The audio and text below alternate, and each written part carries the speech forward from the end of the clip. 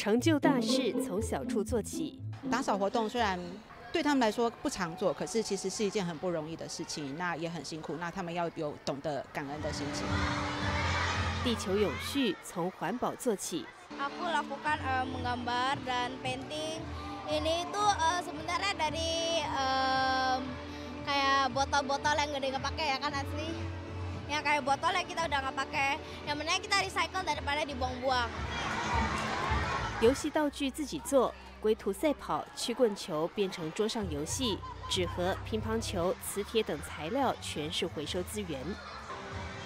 玩游戏几乎每个孩子都喜爱，负起责任当个小大人，小朋友们也喜欢被肯定。